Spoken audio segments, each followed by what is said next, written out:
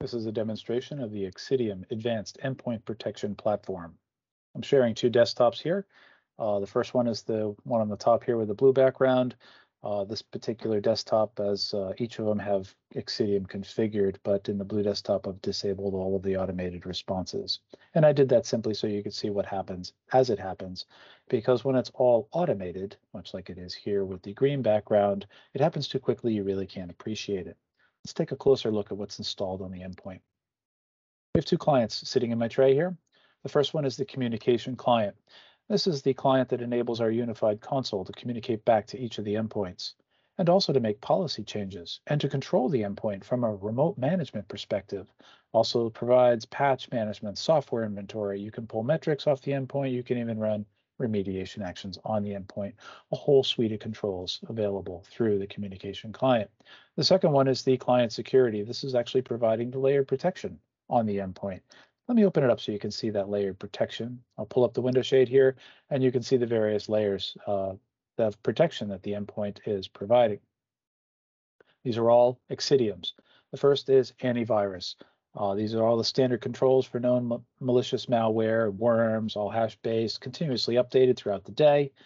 Uh, the second one here is firewall. This is a standard software-based firewall that allows you to monitor or restrict communications by ports or IPs or groups thereof. Now, the advantage of this, and actually each of these, is that from a unified console, you can have a known configuration across entire groups of systems. This one here, HIPS. This is host-based intrusion prevention. This, in conjunction with our scripts engine, covers those whole host of activities, things like VB scripts and PowerShell scripts, registry-based attacks, memory attacks, suspicious processes, that whole lot gets caught in this layer here. Now, the last two, website filtering and DLP monitoring, these are included as additional capabilities if you'd wish to use them. Now, when I went through this list, I skipped auto containment, and I did that because it's different. All of the others deal with detection. Auto containment deals with prevention.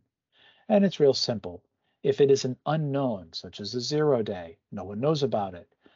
All unknowns are auto contained, which means it never executes out in the open, which means the endpoint is safe workflow continues, productivity continues. Now, when something is contained, VirusScope is running right alongside it, collecting the telemetry information, and we'll try to render a verdict on that, whether it's good or bad. Now, if it can't, then it will actually send that information up to our included verdicting system in the cloud, which does use machine learning. And that will race through that and render a verdict. Now, sometimes machine learning cannot automatically render a verdict. And in those cases, uh, that's when it would get forwarded over to engineers who will manually deconstruct that, run through all the analytics, and will render a verdict, but that will take longer. The takeaway point here is that that really doesn't matter how long it takes to render a verdict because the entire time it is contained on the endpoint, the machine is still functioning, the machine is safe, productivity continues. Let's tuck this away for now. You'll notice on my desktop I have policy update. I have one on each desktop. Uh, let's go ahead and open this. I received it recently. Let's read it so we can carry about our day. Now, as I invoke this, you'll notice in the widget that I have displayed here that I have something running in containment. So I'll open that up. I will remove the administrative controls so I can see what's going on here. And yes, policy update is contained. Now, if I right click this, I get a little menu. It allows me to do additional things so I can see greater detail of what's going on. So as I select activities, I can see that it actually launched and I can see all the sub activities below that. Now this will continue to update as the process is running in containment. So it'll keep track as things progress. This list will grow over time and you can come back and look at those details. Of course, there's an array of different options you can choose to look at here along the way. Now, policy update launched uh, and it's in containment and here it comes. You'll notice that uh, the list updates. I'll just go, go ahead and close that. Let me just slide this up. You'll notice that it opened in WordPad. WordPad is a known safe application that ships with the operating system. But there's something else going on here that is unknown, and that's why it's actually wrapped in this thin green border. That means it's safely contained, so it's isolated from the endpoint. Now, even though it's isolated, I can still work with my file and carry on. Now, it's contained because of that unknown part that's happening here. And what actually happened when I invoked policy update was that I launched a piece of ransomware that contained a full disk encryptor.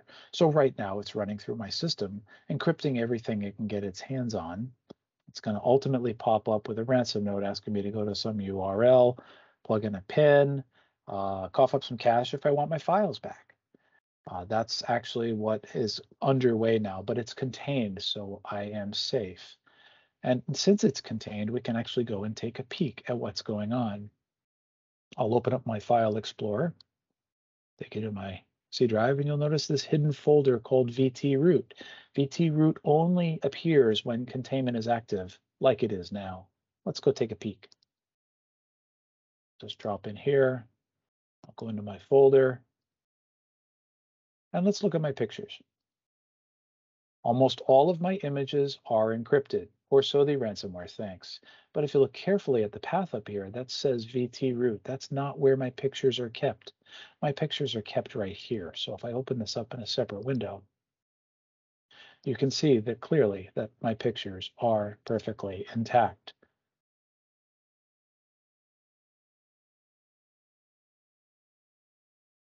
Let's just put this back up at the top. So all my pictures are okay. I can carry about my day. I can work with my document but my endpoint is still safe no matter what happens here. So in short order, the ransom note will appear and give me a time frame to go and act on that if I even want uh, my data back. Now, since this is contained, I can actually go manually clean this up. I did mention that I turned off the automated responses, so this will be a manual cleanup here. And you'll notice this is my ransom note. It's also wrapped in green, so I'm not really worried about this. Let me slide this off to the bottom. Let's go clean this up. I'll open up my client security. You remember this from a few minutes ago. I'll click on tasks. I'll run over to my containment tasks and reset that and just simply erase it all. You'll notice that VT root is gone because containment is no longer active. My pictures are still intact. This was all done for illustrative purposes so you could see that. But in a day-to-day -day environment, it's all automated, much like it is over here. So let's navigate to this endpoint that has it all automated. I've got the same policy update. I'll go ahead and open it. What you'll notice right away is I get a little pop-up that says it's contained and blocked. You'll notice it's been ripped off my desktop. It's not even in my recycle bin. And all I'm really left with is this curious Windows error message, which is essentially Windows complaining that it can't finish executing it because Xcitium ripped it out of its hands faster than it can finish. And this right here is really the extent of user interruption or even user interaction when a piece of malware slides into an endpoint. Now, this is the endpoint perspective. The other perspective is the administrative console in the cloud. I'll just navigate back over to there, and I'm already authenticated in my console.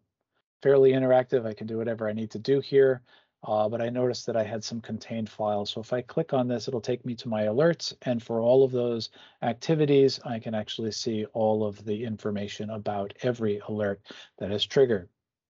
I really want to go to my contained threats over here. So I'll go ahead and click on this and you can see, yes, that policy update was contained. Uh, and we found it on a number of devices. But that doesn't matter because it's been contained across all of them. Since this was running in containment, uh, it actually uh, did get uploaded to the verdicting system, and all of that data details are right here. The check Xcitium verdict cloud details. I'll go ahead and click on that. You'll notice it leaves me on my console and opens up a separate tab, drops me on the summary of the analytics for the analysis. We do have, provide you all the details for the static and dynamic analysis, but we drop it all into a kill chain report for you. Just a quick look at this provides you with a, an array of tabs to interactively look at it, but know that all of the data is in a single PDF that you can download for your internal consumption, archives, investigations, etc. Policy update. It's run. If this was actually your code that accidentally got caught in containment, with a single mouse click, you can free it up and now it'll be allowed to run in your organization. Now, how do you get this deployed? How do you get it configured? That's right over here with assets devices. in this unified console. When I pull this up, you can see the devices in my environment. You'll know immediately if they're online or offline. You'll know the machine name. You'll know the components that are installed, who's logged in, the activity, etc. If you have groups and organizations, then you can actually place them all into your specific groups to match your uh, organizational requirements. Let's take a look at a specific device here. I've clicked on this device and now I can see everything about the hardware, the operating system, the version, when it was booted, the security status, the performance metrics that we're pulling live off the system, all that you would expect in a summary tab there. The networks tab is going to show you all the network interfaces and the exact configuration of each. The associated profiles, this is the configuration applied to a group of devices of which this is one. Software inventory, yes, we know everything that's installed on this endpoint. And if you find something that's not supposed to be there, you can, with a single click, uninstall it without having to get on the endpoint. Won't go through all these tabs. I'll briefly look at patch management. When you do that, you'll see it's broken out into operating system and third party. So I can see all the OS patches I have available, as well as third party. I know what versions installed and which ones queued up. If I'm good with these, I can actually update the endpoint without having to get on it. Now this row at the top, this is all of the integrated remote control capability built into the platform. The first one is remote control. You've actually seen this already. When we were looking at our endpoints, you'll notice the remote control in the header. We're actually using this, our own internal integrated remote control capability to get into each of the endpoints. File transfer allows you to push and pull files accordingly. The remote tools allows you to interface with the endpoint without necessarily interrupting the user or taking over the device. So you can browse the file systems and push and pull files uh, the processes, the services. You can even run things on the command line if you need to. The procedures, there's over thousands, there's over a thousand procedures built into the platform. For example, I can run a procedure on a device, get BitLocker status of the drives, and this would actually run it on this device. I can run it as either the local system user or the logged in user and invoke that. I can install additional packages and uh, just click the ones that I need to push out and it can do that readily. If you have your own custom MSIs and MSUs, you can do that as well, either to individual devices, to groups of devices, or all devices. And of course, all the requisite power options that are available when you have remote control. Let's come back to the associated profiles where all of this is configured and controlled. So here's my associated profile. This is that profile that's controlling this endpoint that we were looking at. Now, these are all the components that I've added to my profile, and there may be more that I could add, such as a maintenance window or a proxy. For each item in here, I can actually just take a look at each piece. So here's patch management. I have the ability to turn on or off the third party and the operating system. I just make my changes, press save, and it immediately applies to all of the endpoints. We looked at procedures briefly uh, earlier with, a, with BitLocker. Uh, so if you put the procedure into a profile, it will run across all the devices that use that profile on a schedule that you can determine. Now, sometimes a monitor may be more useful than a procedure because a monitor would look for a condition to be met before running an action. Here's a simple example. Here's my monitor, gave it a name, I can have as many conditions as I want. And if the condition or conditions are met, run this procedure. This one says delete the system temp, internet temp, and browser cache files. Okay, under what condition would you do that? And there's actually quite an array of options under each one of these, but uh, let's use the one that I've already configured here. This says free space left on the system drive. So this would automatically detect when the system drive in my environment, any one of them gets less than 10%. And then it would go and delete the system temp, the internet temp, and browser cache files, thereby removing this error condition. So it does the detection and the remediation without human intervention. Very powerful feature. How do you get it deployed? That's pretty straightforward. I'll go back to the assets devices, and there's two main options. There's lots of permutations in each. Uh, a popular option is the bulk installation package where you, if you have the ability to push software through GPO, SCCM, or any other method out there, they'll go right over to bulk installation package and they'll do this. They'll click download installer.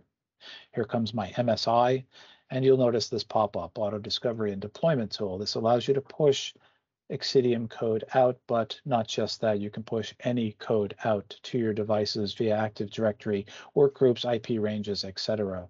Uh, just press download if you would like to use that. Here's my MSI, drop it into a, a, group policy, for example, if you have Active Directory. And then when a user logs in, it downloads and runs, and in very short order, it's registered in the console and looks like this. This is the communication client. Now I know the machine name, I know what's installed, who's logged in, and I have full control because I can remote control. I can install the rest of the Xcitium packages. I have all of that access at my fingertips, and I can actually move all the devices into their appropriate groups. The other option here is the enroll device. This is actually a wizard that only has two steps to it. So when I click it, I can choose the operating system that I'm interested in. Enroll is just the communication client. Enroll and Protect is the communication client plus client security. Since I selected Windows, I have the option of choosing 64-bit, 32-bit, or hybrid. I can select the profile, the configuration that I would like to apply to these devices. I can set my reboot options and device name options accordingly, and I get uh, an enrollment link. Most people won't go to a link if you click if you gave it to them, so the bulk installation package is often the preferred method. But I brought you here for this device right here, this uh, supported device platform link, which opens up a separate tab. And it's the middle column here that I wanted to bring your attention to. So you can see the list of Android and iOS uh, versions, Mac OS, Windows XP forward, Windows Server 2003 forward, and an array of different Linux variants. This concludes the demonstration. Thank you.